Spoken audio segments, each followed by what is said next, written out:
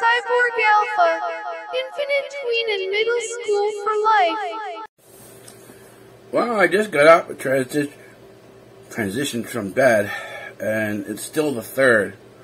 The tendency, because I'm now just getting up, is to call this the fourth day, but that's not what it is. It's actually the third day, so it's the uh, uh, 17 hours and 18 minutes into the third day of November 2021. And we're getting our day started. I'm getting an understanding more of what's happening with your dreams. Uh, but we do have a package opening.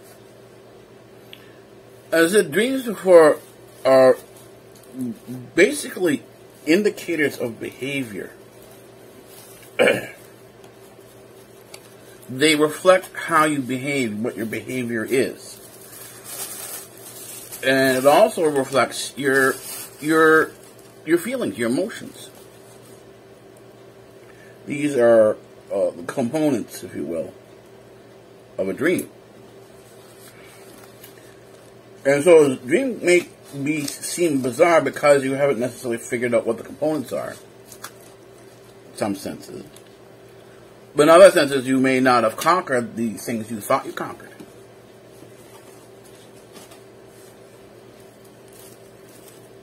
In other words, it's always an ongoing process. And this is no no exception for last night. Or what I call last night. Okay, so we've got uh, another plug. This, I ordered I ordered two different sets of plugs.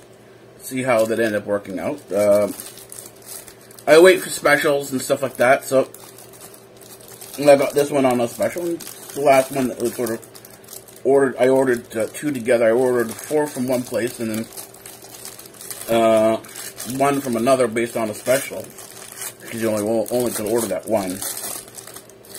Uh, and so it came in.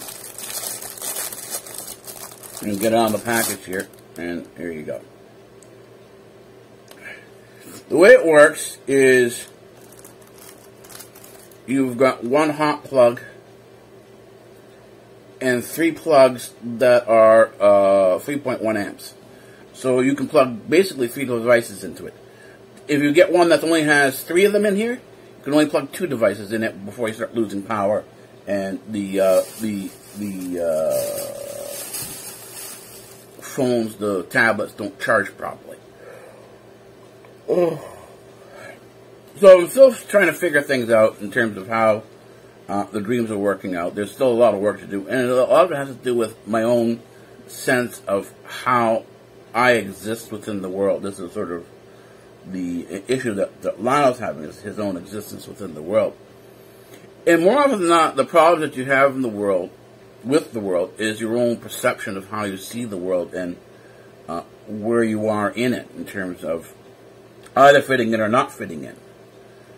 And then there are a certain set of emotions behind it. That if these emotions are triggered, let's say, uh, then this is when the call the existential or the mental health crisis kicks in. But as I said before, because it's emotional, it's not logic. It doesn't matter what you explain to the person. The person has to be able to ride through it. They have to have, be able to experience it. Uh, and then at some point in time, they have to become okay with it. They have to understand okay, this is this is the way I feel about this. Not necessarily the way I am. This is simply the way I feel about this particular situation. And once they come to that sort of sense of okay, this is where we are, you know, uh, placing yourself on some of a, somewhat of an, an emotional an emotional map. No emotional map. Repeating again to, to pronounce things properly because uh, my pronunciation is off, the speech is off because of the fatigue.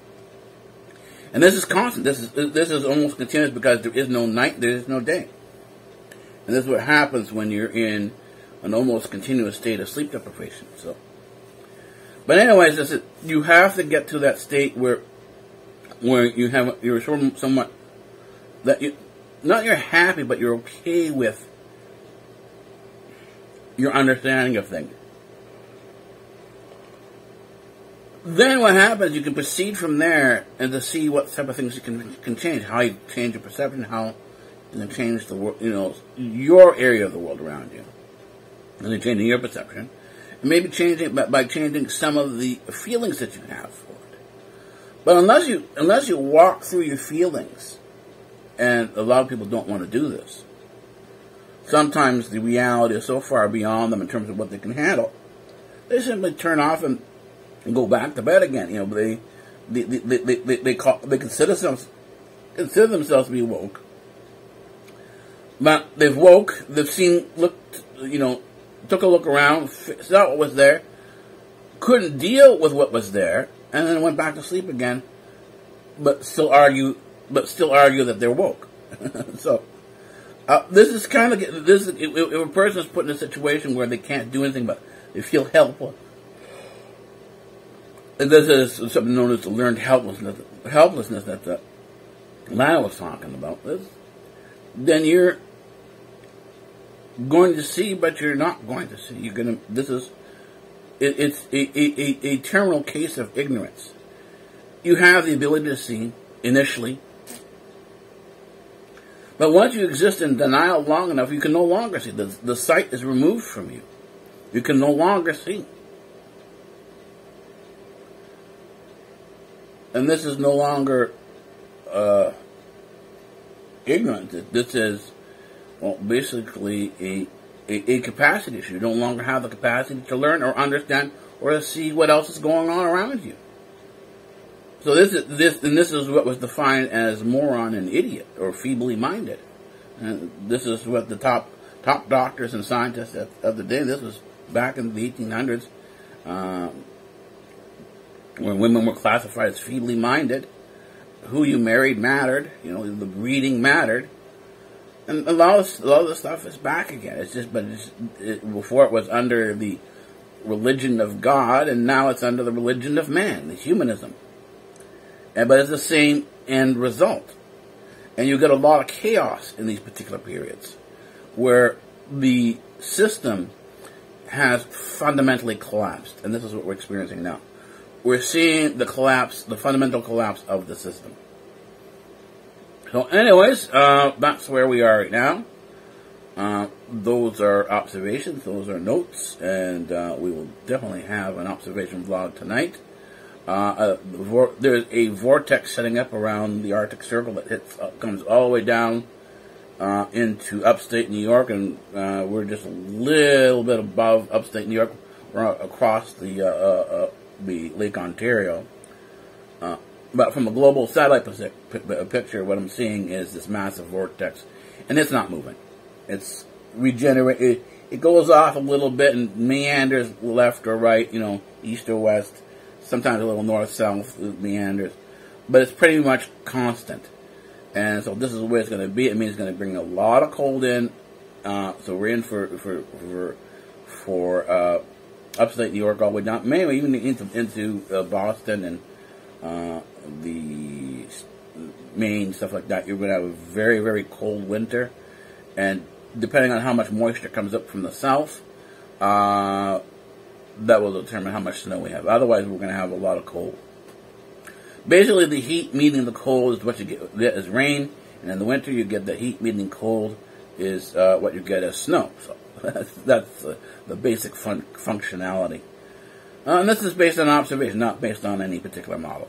Anyways, I will see you uh, in the next transition, probably outside of doing the uh, observation blog. Well, it is uh, 15 hours and 3 minutes into the fourth day of November. Well, the way I'm sleeping, uh, I think a week has gone by in my recollection, but it's only the fourth. This is how the days actually kind of slow down. Where you, you they, they, slow down because you think they've slowed down. You, you you feel like you've gone through an entire week, uh, but you're pulled back to remember that this is still the fourth, and so um, in the days of confusion, you get some of the editing wrong. You get some of the things, some of the things that you think you should have gotten done don't get done because it hasn't been long enough yet. It, this is where some of the confusion comes in. And, uh, and this is, you know, that if you notice, if, if you're paying attention to this, but anyways, uh, the vlogging is all over, oh, all over the place in terms of the time. There is no set time schedule for, for typically when I vlog. Uh, th- that's why this is now, and typically when you do have is, what, what is typical, I should say, uh,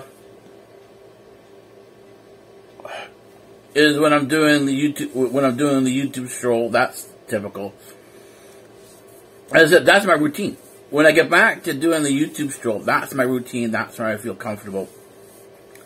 I can sort of sit and take stock of the day. I got my deliveries in from uh, uh, from my grocery store. Uh, I did my food shopping. I got. I drink a lot of milk still, so I I got they come in bags in Canada, so I got uh, uh, three bags. In each bag has three has the three uh, 1.3 liters of, of milk in it. That's how they do it. There were four liters, but they broke it up into three bags, so it's approximately uh, 1.3 liters. Uh, I got my ice cream again, because I have, uh, every time I have my milk, I have a shake. And I use a chocolate shaker, so I got a fun, I found a good ice cream, high quality ice cream, uh, for not that expensive, for, for, for, for, not that much money. And, uh, sat down, did some figuring out in terms of Uber Eats and stuff like that. Uh, I think uh, that's going to be it for Uber Eats and uh, skip the dishes and so on and so forth because I don't really see any use for it. I don't see the value in terms of what I'm getting.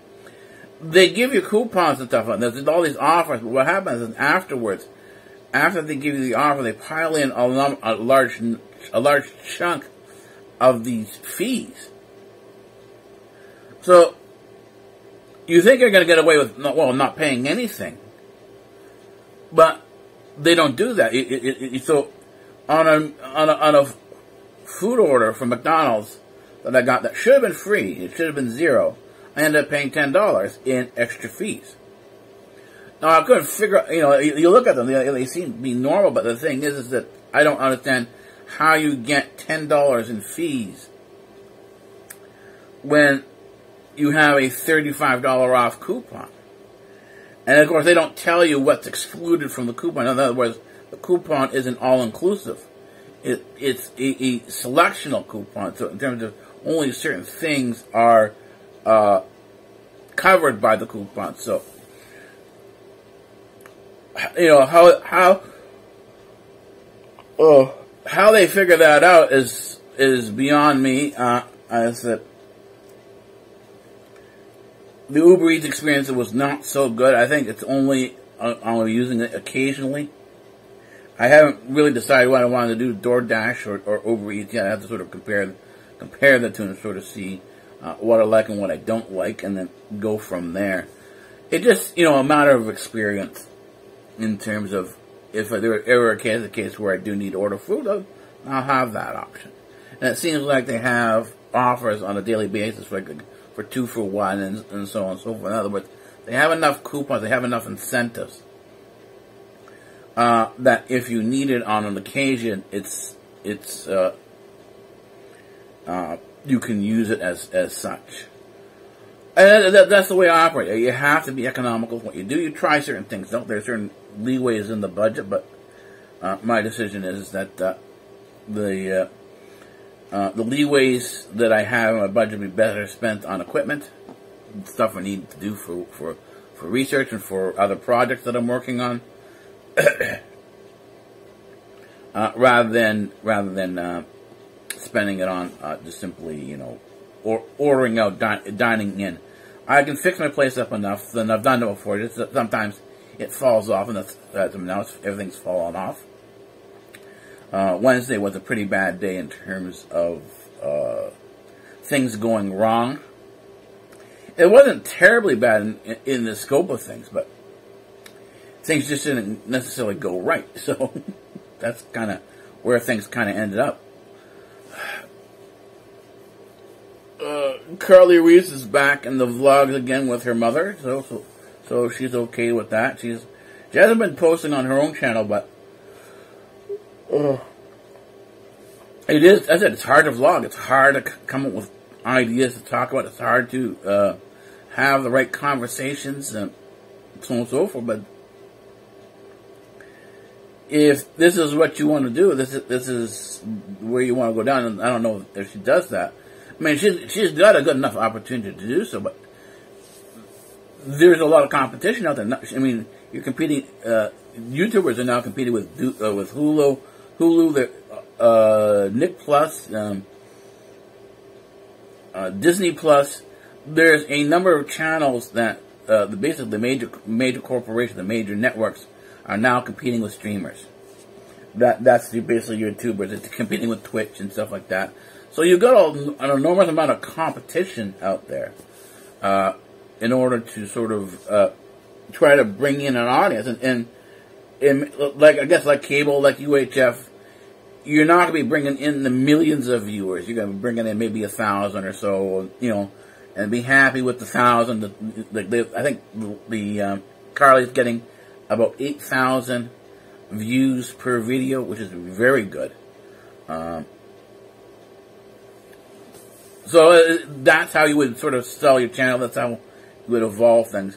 Allie's more in the uh, YAWI vlogs again, but again, she's not doing anything on her own channel. So I know. I guess being in the well, yeah, being in the YAWI vlogs, being in our family nest, and for for Karli, will bring her in again. Kind of, it, it maintains the viewership. It, it, you know, when when Karli's not in um, our family nest, the viewership goes down. Uh, when she's in it, it goes up again. So she has value there. So this is something where she can sort of uh, work with her mother and you know work out a uh, profit sharing plan or something like that, so that uh, she has an income. I think Chase is sort of doing the same thing. Uh, is it, it really depends on how what what your perspective is and where you see yourself going in the future. And I think it's just because you're doing YouTube doesn't doesn't necessarily mean doesn't necessarily mean you can't do something else as well. Uh, you know, because uh, Candy from our family, family nest, the mother, she does other stuff. She does a lot of other things. She has, she has a number of businesses on the side. And so, uh, this is something they have to understand that, that maybe you'd have to branch out into a number of the different things, take a look at what the mother's doing, seeing what type of uh, work or, or, or, contracts you can get, and that would how that's how you would sort of pay your bills, and that's how you would exist. But anyways, I think that's it for our transition here. I have to change because uh, now dad's going to pick me up in a bit for dinner, and I'm going to head on out. All right, so I'll see you tonight for the uh, when I'm outside doing op- the observational vlog, and then when I'm back here doing the uh, uh, the uh, YouTube stroll. So that will be their, our transitions for today, and technically for tomorrow, for the fifth. Well, it is seven minutes or eight minutes into the uh, fifth day of November, outside freezing. I'm not. I'm actually with the clothes I'm wearing now. The the clothes I got, and this is the clothes I got from China for dirt cheap. Uh, I do, I'm, sorry, I'm sorry, Lionel, but I do love China. I like the uh, the, the, cheap products they produce. Uh, I have no issues with them at all. I thank God for them because, uh, well, I am a Christian, an early Christian, but uh, I thank God for them because uh, I couldn't exist the way I exist right now in terms of the quality of life that I have without the cheap products from China. You gotta understand, people need to understand. If you don't have money, if you're living on the margins, and I live on the margins, I have basically forty dollars a week. That's it, and forty dollars a week for food. All my food that I have, I've only got forty dollars to spend a week. The rest go to equipment. The rest goes to all the different things I do for the research and so on and so forth. I can't afford to be buying high end equipment. I can't afford the dollar a day, which is basically thirty dollars. Thirty dollars a month. You take thirty dollars a month. Oh, that's not okay. To you, it's nothing. You're living in the in, in an apartment in the Hudson. I don't do that because I I'm an independent researcher. I want to be independent. I don't want to follow crowd. I want to do exploration. And to do this, I have basically thirty to forty dollars a week to work for food. That's it. Everything else goes back to research. That's how I exist. I buy cheap equipment. I buy things that are off, not sort of knockoffs, or, or something called the, the, these are the uh, these are the uh, uh, counterfeit phones, and you know, not the real thing. Well, I'm sorry, I got my phone for uh, two hundred and I'm not going to spend uh, thirteen hundred dollars on the same phone. And then this, I've compared the phones. I have friends who have the top of the line Apple this and Apple that, and I've got a cheap phone from China that cost me, you know, two hundred and fifty dollars. And we put it up side by side. My stuff outdoes theirs in terms of the features and what I have on it. I have my my my phones, which are my cameras, are also my laptops. They I have a full network hooked up to them, so I can transfer files back and forth across across my own cloud that I have. That's a Linux system, a Linux network. the others don't. They don't have that. They don't have what I have, and they go, oh, how do, you, how do you do all this? Well, I sit down and figure it out. I don't necessarily know what I'm doing when I first get into it, but there's always the first learning step, and then afterwards you learn more and more and more. And as you learn more, you have more capacity. You add in more capacity. You keep pushing the ball forward. And the thing is, is that I can't do that and just simply toss my money away. So I, you know, if I don't have the money, I'm not going to buy your product if I can't afford it. It's that simple. I'm not going to buy your service if I can't afford it. So you haven't lost the sale because the sale was never there to begin with. I just don't have the money for it. And this is what, what a lot of these larger corporations don't understand is that when people don't have the money, they don't have the money, and this is where, if they're locked out of a lot of different places like stores, oh, we're going to lock people out of stores if you're not properly this or that. Well, okay, fine. I'll go to the black market. There are a lot of avenues into the black market where there are no, where there is no rules. And you learn how to, you know, a lot of my neighbors who are, let's say, foreign, the, the, the Asian, I call it, I call it the undercurrent or the undermarket, the hidden market that hidden market between India and China, let's say 10% of the population is within of, of, of either China and, and, and, India is within the uh, zone we call the uh, the hidden market or the underclass market. That's your black market. You're talking if it's 150 million people 10% of 1.5 billion people. This is the same thing for, for, for India, again, uh, 150 million people. You're talking about a market, an underclass market of 300 million people. They have their own transport system, they have their own currencies, they have a lot of different things where if something collapses on the largest scale, on the macro scale, they're not going to even notice. Because they're not there, they're not in the larger middle class uh, markets. They're not in the malls. They're not in the high end hotels. They're always they're, they're, part of the underclass. They're in the uh, the, uh, the, the the ghettos of Calcutta. What is a person who's living in the ghetto of Calcutta? That's what's called a slumdog millionaire. What does a person in the slumdog millionaire in that those ghettos care about someone in in the Hilton or the Sheraton or you know or, or, or Tri Peaks hotels or whatever they call these, you know, oh, Embassy Suites Hotel, where they have these, these nice apartments as hotel rooms. They don't care because it, it, it doesn't impact them at all. They're not going to eat there. They're not going to sleep there. They're not going to buy anything from that particular area of market. They have their own system. And this is what a lot of people get. They don't understand this. They don't understand that there is a lot more out there in terms of the underclass than there is in terms of what we call your middle middle class. And so what happens is that why are we not going to defeat China or even India? And it's because of the underclass. The, the underclass is, is, not is simply going to absorb the collapse. We're going to we're the upper classes like like like Lionel. He's going to collapse into the lower class. He's going to collapse into the underclass that has that existence, and he'll have to to learn how to he'll have to learn how to swim or he'll sink. That's it. So there isn't necessarily a doom and gloom to this, but it's just that you know if you want to, my choice. I want to be an explorer. I want to be out on the edge. So this is part of exploration, going to areas you don't know. People, no one's going to fund you for this because what are you going to do with the money you're going to give you? Well, I don't know. Where are you going? I don't know. I'm going, I don't know, over there, I guess. That's exploration. Exploration is you're going into the unknown. So you don't know where you're going. You don't know what you're going to see. There's no way to predict what you're going to see. And yet you're asking someone for a million to two million dollars. uh, uh, I don't know.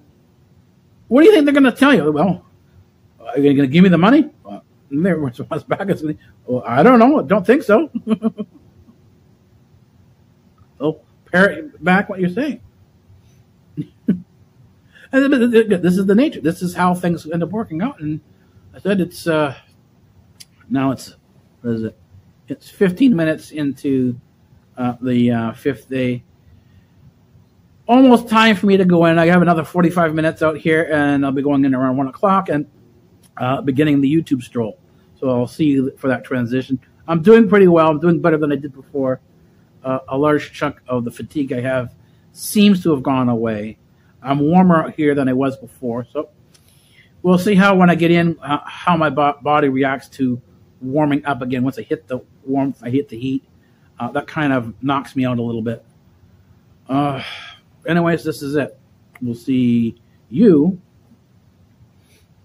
uh, in about an hour, oh, 45 minutes, around 1 o'clock, inside uh, for the transition into the uh, YouTube stroll. See you then.